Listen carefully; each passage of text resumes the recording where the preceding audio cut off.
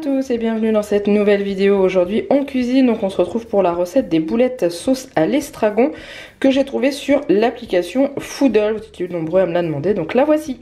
Alors pour cette recette vous aurez besoin de soit 600 g de bœuf haché surgelé ou alors un paquet de boulettes de bœuf. Il vous faudra également 10 centilitres de crème fraîche liquide, un petit peu d'huile, un oignon, euh, de l'estragon, donc soit du frais, soit euh, du déshydraté comme ça, euh, deux pincées de beurre, donc en gros un petit peu de beurre quoi, deux, un bouillon cube de bœuf et deux cuillères à café de farine, farine classique, hein, 45, 55 comme vous voulez, et un peu de sel et de poivre si vous le voulez. Alors, pour, vous aurez besoin également du cookéo, parce que c'est une recette qui se fait au cookéo. Donc déjà, avant de démarrer la recette, vous allez allumer le cookéo en mode doré, donc cuisine, je crois que c'est manuel.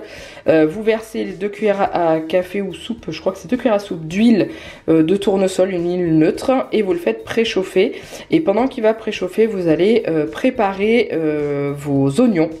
Donc moi j'utilise le hachoir 5 secondes que j'avais eu de la part de Tefal l'année dernière que j'utilise tout le temps. Dès que j'ai besoin d'émincer des oignons ou des échalotes et tout, je l'utilise, comme ça j'ai pas les yeux qui pleurent.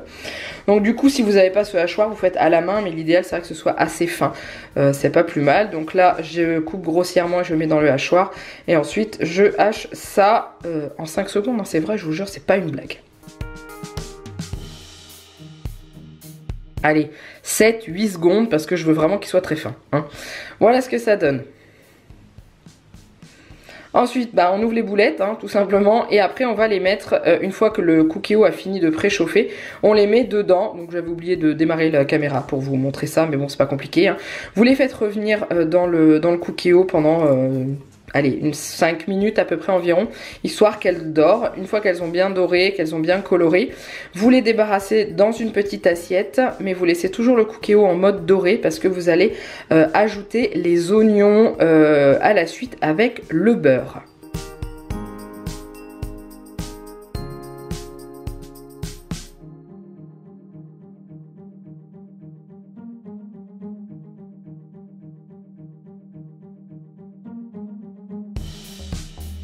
Donc là, vous allez faire dorer les oignons, euh, les faire se colorer, devenir un peu translucide avec un petit morceau de beurre. Donc eux, ils mettent deux pincées dans la recette. Bon, bah ça fait un petit morceau de beurre, quoi. Voilà.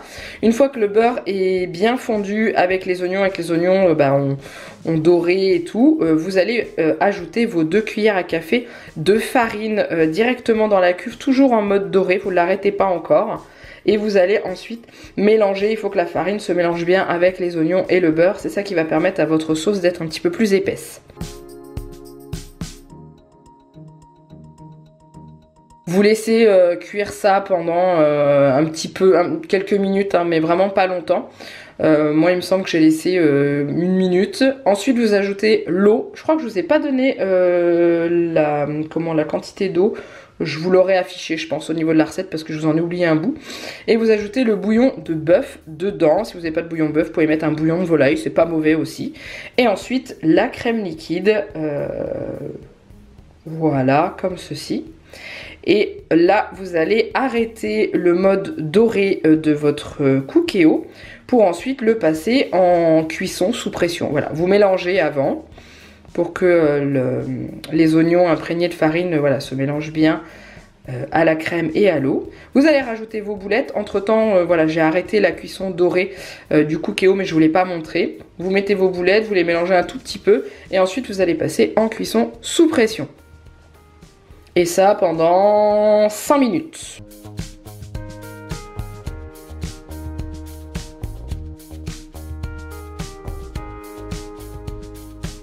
Voilà, pendant que la cuisson sous pression se fait, moi j'ai choisi de faire ça avec des pâtes. Donc c'est des pâtes fraîches comme ça parce que j'avais pas trouvé des, vraies pâtes fraîches. On est dans une période un petit peu compliquée hein, au niveau de, l'alimentation.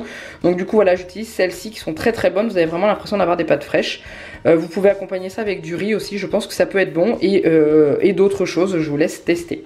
Une fois que la cuisson sous pression est terminée, faites attention quand vous ouvrez votre cookéo pour pas vous prendre un retour de vapeur comme ça m'est déjà arrivé une fois. Et euh, vous remélangez un petit peu et là vous allez voir que votre sauce elle est un petit peu plus épaisse. Euh, elle n'est pas liquide quoi. Voilà, ça vous fait euh, une petite sauce un peu épaisse. Alors dedans vous inquiétez pas, c'est pas des grumeaux, hein, ce sont les oignons. Et vous allez repasser en mode manuel et en mode mijoté.